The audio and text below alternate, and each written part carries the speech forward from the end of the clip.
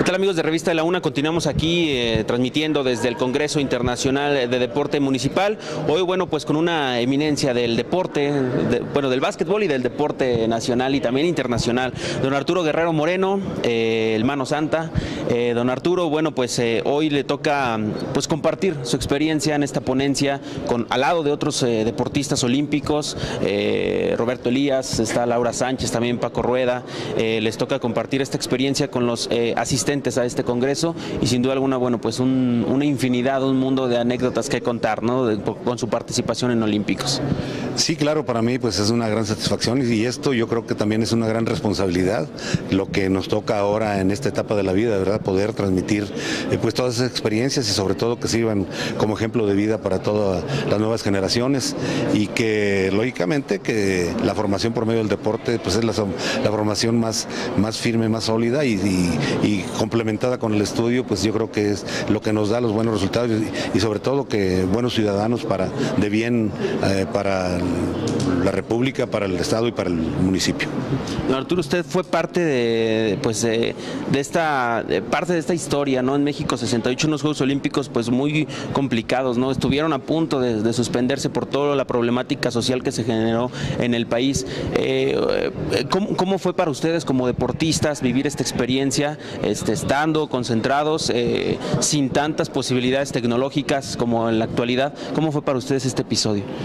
Pues bueno, a- afortunadamente, en, cierto modo, nos dimos poco, poco, poco, eh, no estuvimos al tanto, no tuvimos poca cuenta de, todo el problema que se estaba suscitando en, el país, ¿verdad? Hasta después de lo que ha pasado los Juegos Olímpicos fue cuando realmente eh, nos involucramos y nos dimos cuenta de la trascendencia y, lo, lo, difícil de la situación que estaba viviendo México y que estuvo a punto de suspenderse. La inauguración fue el 12 de octubre, recuerdo, el 68, y el día 10 de, octubre era una fecha límite para que todo el conflicto se resolviera, ¿verdad? Eh, afortunadamente la mediación del, eh, del general Clark, eh, José Jesús Clark Flores, presidente del Comité Olímpico y del Comité Organizador de los Juegos, eh, pues pudo conciliar con las autoridades internacionales y que se llevaran a cabo los Juegos Olímpicos sin, sin ningún problema, ¿verdad? Y, y gracias a Dios fueron unos Juegos Olímpicos inolvidables y de mucha, mucha paz, mucha tranquilidad y mucha armonía. ¿Qué, qué se decían entre los integrantes de la selección o de plano era, pues había hermetismo, ¿no? En esta. Sí, no, no, eh, no, no platicábamos de ello, ¿verdad? Porque desconocíamos, o sea, la cápsula que, formó en ese entonces el deporte, estábamos completamente aislados y siendo que teníamos ahí enfrente al campo militar 1, ¿verdad? Donde fue eh, el recolector de tantos, tantos cadáveres de esa masacre y, estaba enfrente al, centro olímpico y pues no nos dábamos cuenta de todo ello, ¿verdad? Afortunadamente, en cierto modo, ¿verdad? Y creo que pues el haberse llevado los Juegos Olímpicos de 68 fue el, el- mejor y mayor acierto, porque esto fue precisamente a marcar un parteaguas dentro de la paz mundial. Don Arturo, con la situación que vive actual el básquetbol mexicano, ya sabemos que bueno, pues regresó a, un mundial. En estos momentos, bueno, pues eh, se quedó a nada de regresar a Olímpicos aquí en casa. Ahorita se está peleando en Italia este el pase. Pero ¿cómo ve, cómo ve usted el entorno nacional del básquetbol? Eh, en su momento, bueno, pues los, se idolatra Gustavo Ayón, ¿no? Eh, pero ahora, bueno, se critica por su decisión de no acudir a este repechaje olímpico. Eh, pues hay muchos, muchos eh, tonalidades, pero realmente eh, se ve que el básquetbol ha mejorado, pero todavía no encuentra ese punto álgido, ¿no? Al que se, se desea llegar. Pues bueno, se, se ha mejorado de cierto modo, ¿verdad? Se ha mejorado, pero lógicamente el problema administrativo y el problema de, de- de federación, el problema federativo continúa.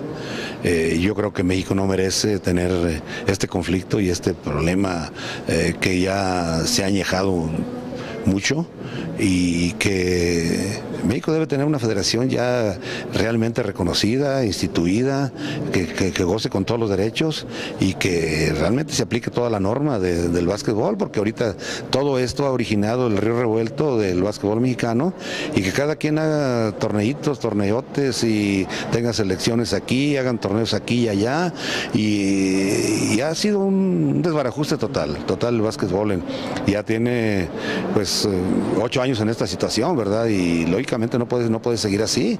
Y yo creo que el, problema del básquetbol mexicano lo tenemos que resolver los mexicanos, porque el básquetbol precisamente el de México es un deporte con, mucha historia, mucha trayectoria, mucha trascendencia, eh, que no, no, no, es posible que haya una intromisión extranjera para poder lograr el, arreglo del básquetbol mexicano, partiendo de ese punto de vista. Y referente a lo de Gustavo, pues yo creo que escogió un mal momento para poder para anunciar el que no participaba. Yo creo que esto lo, debió haber eh, dicho con anterioridad, ¿verdad? Porque lógicamente a cuatro días de la competencia, pues fue un golpe anímico muy fuerte para, para los muchachos, ¿verdad? Y, sobre todo para los seguidores, los seguidores del, del básquetbol.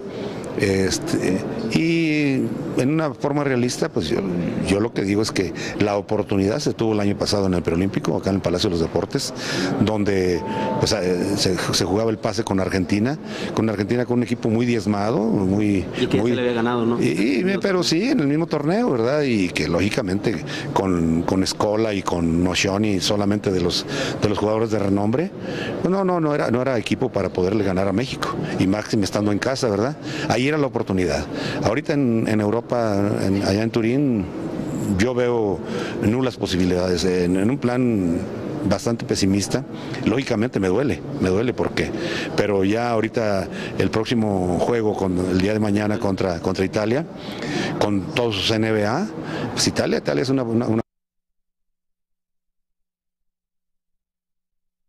gran potencia.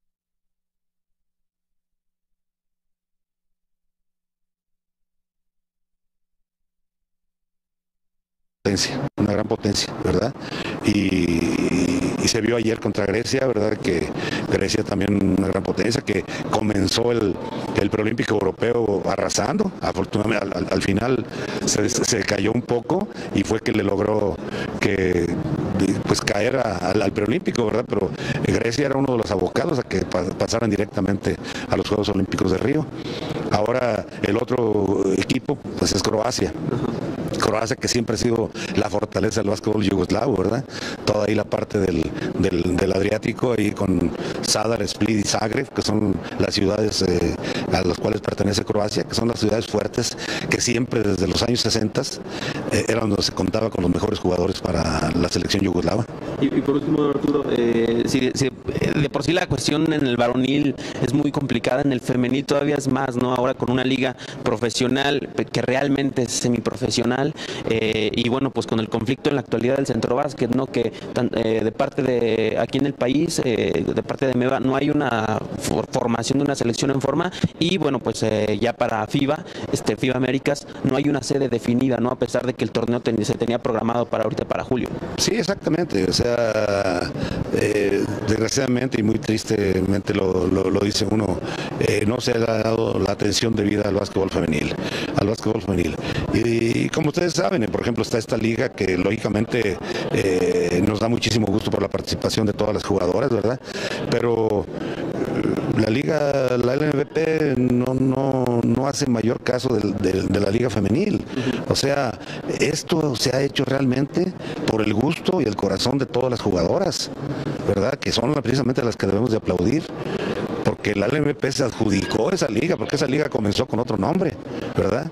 Y, se, lo adjudicaron, pero ok, si se lo adjudican, denle el respeto y denle la promoción y la difusión de vida a la liga, no que la, de, los dejan al garete, ¿verdad? Y, pero mis respetos a todas las jugadoras porque ellas son las que han demostrado ese corazón y ese cariño por el básquetbol femenil. Perfecto, Arturo. Pues agradecemos muchísimo la presencia y bueno, pues a continuar con las actividades de este congreso. Es el tercero este y bueno, siento alguna también eh, deja mucho, ¿no? Para, para todos los participantes. Sí, cómo no. Y pues una camaradería enorme, ¿verdad? Y sobre todo ver a tantas gentes conocidas aquí y que tengan ese, ese ánimo y ese espíritu de superación. Perfecto, perfecto, Arturo. Muchísimas gracias. Eh, regresamos aquí en la, en la revista de la UNA.